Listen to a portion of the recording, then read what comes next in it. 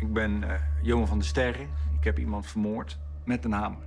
Eerst op zijn voorhoofd en toen op zijn achterhoofd. Toen heb ik zijn rechterknie en zijn schouderblad verbrijzeld. En daarna net zo lang in zijn gezicht tot hij stil bleef liggen.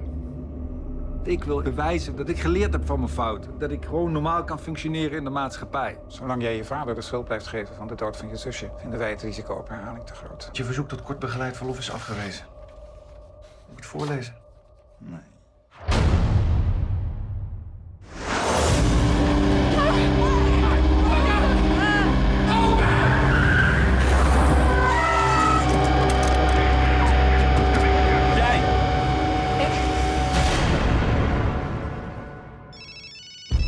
Ik hou het kort, ik wil niet dat ze me traceren. Ik heb een gijzelaar, een meisje. Jezus. Hoe oud ben je eigenlijk?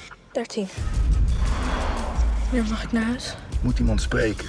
Ik weet heus wel dat jij dit niet wil. Maar hier is iemand die kan bewijzen dat ik onschuldig ben. Wie niet eigenlijk spreken in België? Mijn moeder. Waarom heb je mij gegijzeld? Omdat jij iets bijzonders hebt. Val je op me.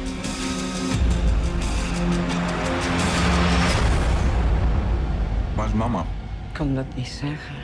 Is het waar? Je zusje vermoord. Jij bent heel erg ziek, Johan.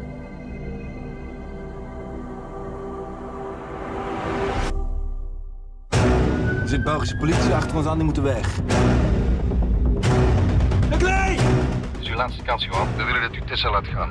En dan Bonnie en Clyde. Ik wil niet dood. Of Tessa en ik gaan samen naar Nederland, of we gaan hier samen dood. Yes, sir!